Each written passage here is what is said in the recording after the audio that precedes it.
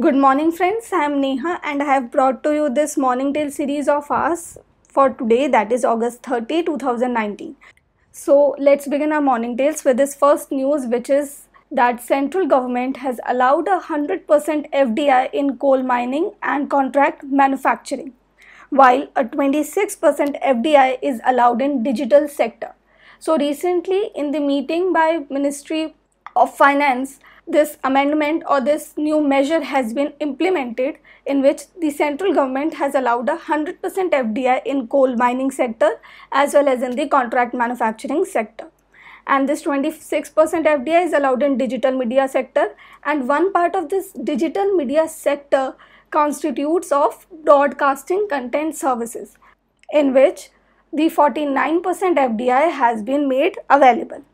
And now the second amendment which has been considered by Ministry of Finance is that uh, the single brand retail traders with 51% FDI as their equity have to local source up to 30%.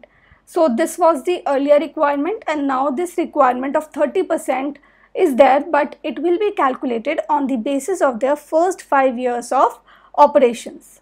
And apart from this the other change for the single brand retail traders is that that now they can sell their products online which was not allowed earlier. Earlier they have to open a store basically a physical store in india to start their operations. And now this compulsion of opening the physical store has been removed partially. So friends do pay attention to the word partially because they are now required to open the physical store but they can do so within two years of their operations on online. So basically they, it is a kind of free hand which has been given to these single brand retail traders. Now the companies like Apple can benefit from this amendment and they can sell their products directly into India. And the fourth amendment is that for sugarcane farmers, the Union Cabinet has approved an export subsidy of rupees 10.45 per kg. And this subsidy aims to facilitate around 60 lakh metric tons of exports from India. So it will be a boost for the global sugarcane supply as well as for Indian exports also.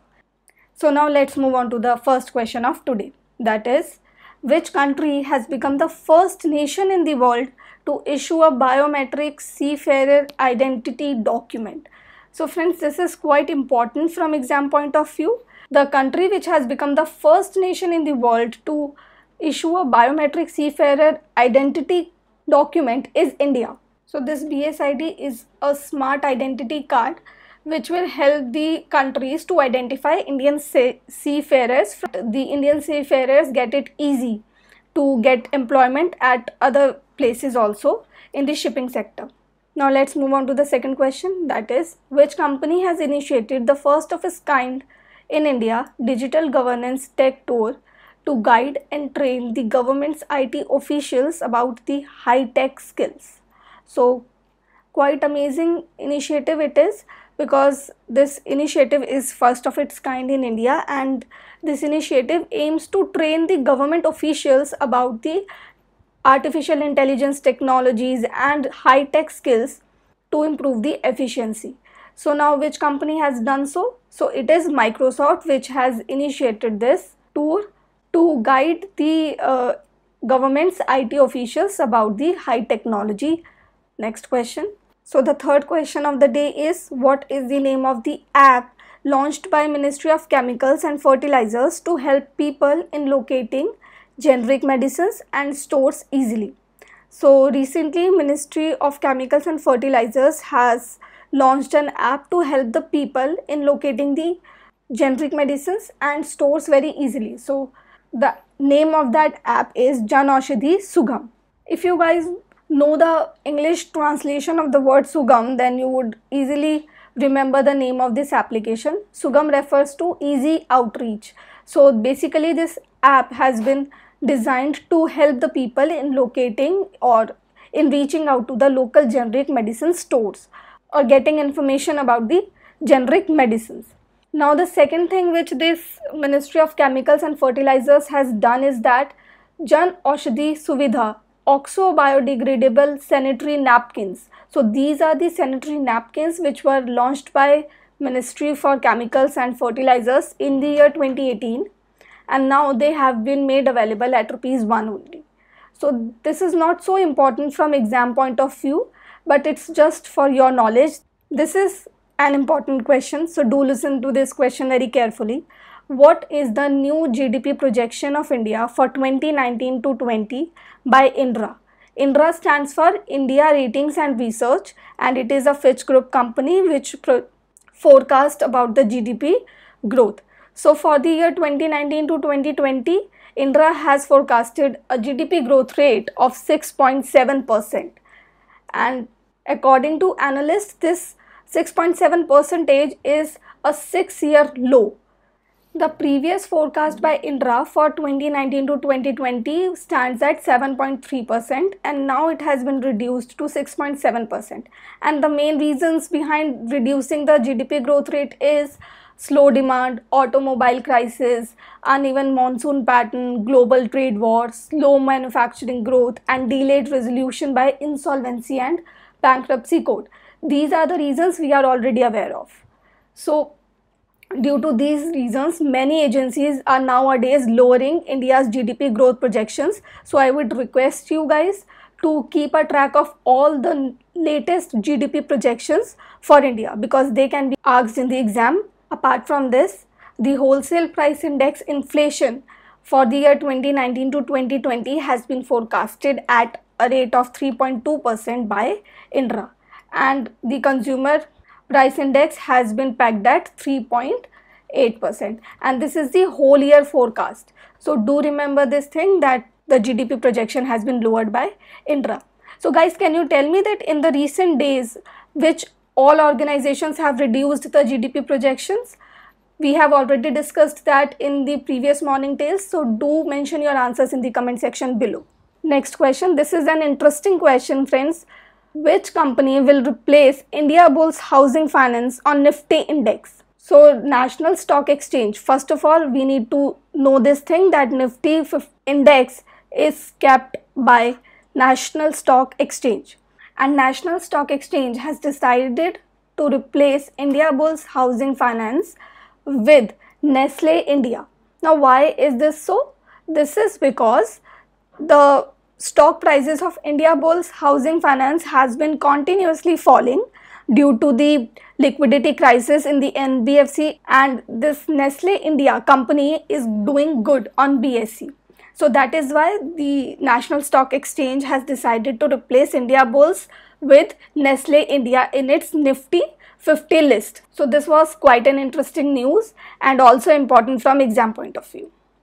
Next question where has the Software Technology Parks of India set up a first of its kind center of excellence in fintech that is named as FinBlue. So it has been opened in Tamil Nadu, in Chennai, Tamil Nadu. A little more information about FinBlue. So FinBlue is the center of excellence specifically designed for fintech startups and this center of excellence aims to incubate 58 fintech startups to help them in growing.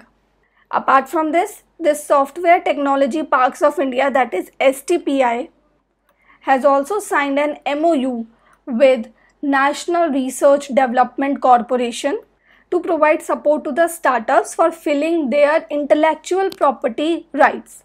So basically in getting the uh, patent rights of these startups registered, this National Research Development Corporation will help those startups.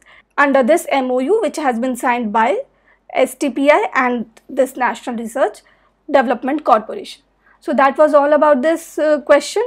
The next question is who has been appointed as the president of Paytm? So if you guys are following the morning tales then you would know that we have already asked this question in one of our previous morning tales. So now you must be thinking that what's the reason behind coming up with the same question again. So the reason here is that that recently Paytm has appointed Amit Nair as its president and on 19th August there was a news that the CFO that is Chief Financial Officer of Paytm which is Madhu Deora had been promoted to the post of president and now this news has broke up that Amit Nair has been appointed as the new president of Paytm. So now this Amit Nair is the president of Paytm. Many of my students have asked me this thing that whether it's Madhu Deora or it's Amit Nair. So it is Amit Nair. Next question is who has been awarded with the Rashtriya Khel Protsahan Puraskar 2019. So guys, if you are familiar with this phase, then you would know the answer to this question, which is Gagan Narang. So recently he has been chosen for this award and with which sport is he related to? From this gun, it is evident that he is related to the sport of shooting. So do remember these two things that 2019 award is being uh, awarded to him and he is related to shooting. So this is a static question. In which field is Ramon Magsaysay Award not given? So before discussing the answer to this question, let us discuss first about this award itself. So this award has been constituted by Philippines and it has been named after their president that is Ramon Magsaysay and it is given in the fields of public service, journalism, social service and community leadership. So clearly the answer to this question is option C that is literature. In the field of literature this award is not given. So guys can you name the person who has been awarded this Ramon Magsaysay award in the year 2019? We have also covered that in one of our morning tales previously. So do mention your answer in the comment section below that this year's award has been given to whom. So let's discuss the last question of the day that is where is Valley of Flowers National Park located? So this is the question for you guys. I am leaving out this question for you to answer in the comment section below. But before bidding adieu to you guys, let me tell you that this national park is quite amazing and it is famous for its meadows of endemic alpine flowers. So now it's time to conclude our morning tales for today and friends if you have liked our video so do not forget to subscribe to our channel and press the bell icon for all the latest notifications and thank you so much for watching our video.